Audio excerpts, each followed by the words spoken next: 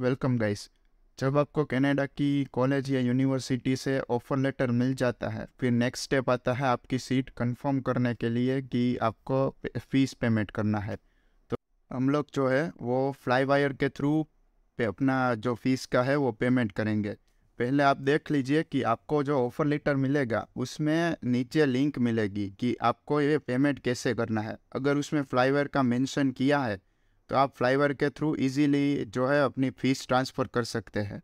तो फ्लाईवायर में होता क्या है गैस की जब भी आप फ्लाईवायर की एक रिसीट जनरेट करोगे तो उसमें इंडिया उनका, इंडिया का एक बैंक अकाउंट मेंशन किया होगा कि पूरी डिटेल्स होगी बैंक अकाउंट की। हमें वो उस अकाउंट में अपना जो है वो फंड उसमें ट्रांसफ़र करना है। तो वो जब अपना हमारा जो फंड है उनको मिल जाएगा तो वो लोग हमारी कॉलेजेस या यूनिवर्सिटी के अकाउंट में ट्रांसफ़र कर देते हैं। तो इसके लिए कुछ छः सात दिन का टाइम लगता है और बहुत ही इजी प्रोसेस है। आपको पूरा स्टेटस भी दिखेगा, जब भी उनको अमाउंट रिसीव होगा, जब वो आपका हमारा अमाउंट है जो वो कॉलेज की अकाउंट में डालेंगे तो भी आपको सब मेल आएँगे और स्टेटस आप चेक कर सकते हो। पहले हम है वो फ्लाई की वेबसाइट पे जाएँगे।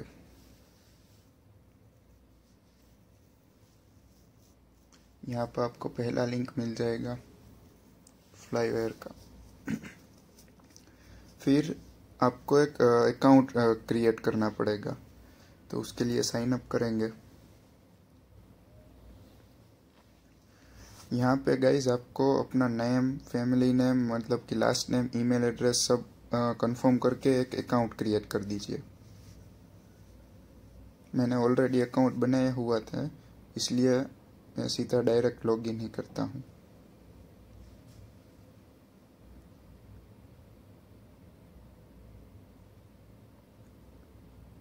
यहाँ पे अपनी लॉगिन डिटेल्स वगैरह सब आप एंटर करके लॉगिन करेंगे तो आपको एक ऐसा पेज ओपन होगा। यहाँ पे मैंने ऑलरेडी पेमेंट कर दिया था, इसलिए यहाँ पे पेमेंट हिस्ट्री वगैरह सब दिखा रहा था कि यहाँ पे आप पेमेंट स्टेटस चेक कर सकते हो, वगैरह सब। आपको जो है वो न्यू पेमेंट करना है।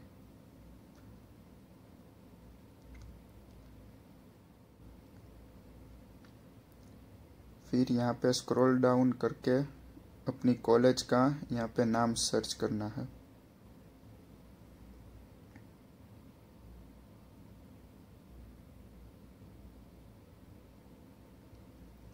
यहाँ पे आप कॉलेज का नाम सर्च करोगे कि जैसे मेरा कॉन्फेडरेशन कॉलेज है। तो यहाँ पे तीन ऑप्शन दिखा रहे थे कि एप्लीकेशन फ़ी है कॉलेज या हॉस्टल की कैंपस की फ़ीस है, कि रहने के लिए, या फिर ट्यूशन फ़ी है। तो मेरी जो है वो, हमारी ट्यूशन फ़ी है तो हम ट्यूशन फ़ी पे सिलेक्ट करेंगे।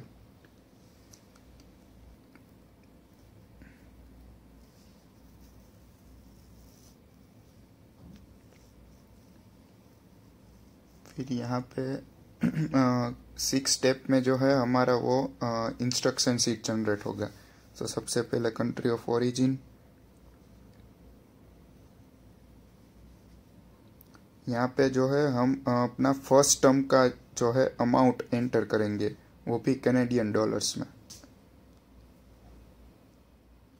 सेकेंड टर्म के लिए हम यही प्रोसेस जो है वो रिपीट करेंगे। क्योंकि अगर सेवन लाख से ऊपर का पेमेंट होगा एक ही एक ही बार में तो फाइव परसेंट टैक्स हमें पे करना पड़ेगा इसलिए।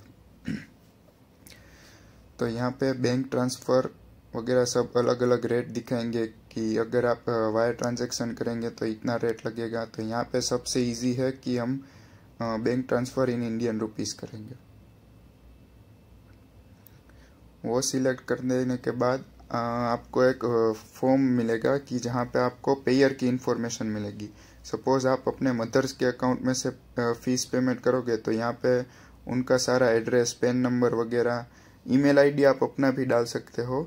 तो यहाँ पे सारी ये फ़र्स्ट स्टेप की तरह ही आपको सेकंड टेप में आपका एप्लीकेंट आईडी मतलब कि आपका जो एप्लीकेशन आईडी है, कि जो ऑफ़र लेटर में मेंशन किया मिलेगा, वो एंटर करना है। आप कौन से अकाउंट में से पेमेंट करने वाले हैं? उसकी डिटेल्स सारी एंटर करनी है। फिर लास्ट स्टेप में आपको एक फ्लाईवेयर का रिसीट जनरेट होगा कि जिसमें आपका फ्लाईवेयर का कौन से अकाउंट में पेमेंट ट्रांसफ़र करना है, वो सारी डिटेल्स मिलेगी। जिसमें आपको कितना अमाउंट ट्रांसफ़र करना है, वो आईएनआर में मेंशन किया मिलेगा। याद रखना कि आपको जो यहाँ से पेमेंट करना है, वो आईएनआर में ही करना है। मतलब कि इंडियन रुपीज़ में ही ट्रांसफ़र करना है। तो सिंपली क्या करना है कि आपको एक सपोज़ मदर के अकाउंट में से पे कर रहे हैं तो आपको एक मदर का बैंक का चेक लेना है और उसमें वो अमाउंट जो है वो मेंशन कर देना है। जो भी फ्लाईवायर के रिसिप्ट में आपको मिलेगा suppose five lakh fifty thousand आया तो आपको फाइव लाख फिफ्टी थाउज़ेंड का चेक जो है वो लेके बैंक में चले जाना है। और वहाँ पे सिंपली बोलना है कि मुझे ये जो अकाउंट है उसमें आरटीजीएस या तो फिर एन e करना है। तो वो अपना एक फॉर्म देंगे, उसमें आपको सारी डिटेल्स फिल करके वो चेक और वो ये फॉर्म है, उनको दे देना है। तो वो पेमेंट जो है, वो प्रोसीड कर देंगे। तो फिर दो तीन दिन के बाद आपको जो फ्लाईवेयर का अकाउंट है, उसमें स्टेटस अपडेट हो जाएगा कि आपका जो अमाउंट है, वो उनको मिल गया है और वो दो तीन दिन बाद दो तीन दिन में आपका जो पेमेंट है, वो आपकी कनाडा की कॉलेज या यूनिवर्सिटी में ट्रांसफ़र मिल जाएगा। तो यही सेम प्रोसेस है। आप अपने सेकंड टर्म के फ़ीस के लिए भी फॉलो करना। जब आपका जो है पेमेंट फ्लाई वायर आपके कॉलेज के अकाउंट में ट्रांसफ़र कर देंगे और कॉलेज को मिल जाएगा पेमेंट तो फ्लाई वायर के स्टेटस में वो पेमेंट रिसीव्ड का एक अपडेट हो जाएगा। तो वहाँ से आप अपनी फ़ी रिसिप्ट की फ्लाई वायर की जो फ़ी रिसिप्ट है, वहाँ से वो आप डाउनलोड कर सकते हैं और अपने एजेंट को बोलकर अपने ओकास के पोर्टल में से भी ऑफिशियल जो आपकी कॉलेज की फ़ी रिसिप्ट है, वहाँ से भी आप डाउनलोड कर सकते हैं। तो मेक श्योर sure कि वो आप डाउनलोड कर लेना। गाइस इस तरह से आप अपनी कनाडा की कॉलेज की जो फ़ी है, वो फ्लाईवायर की थ्रू पे कर सकते हैं। अगर आपको ये अच्छा लगा तो अपने जो भी कनाडा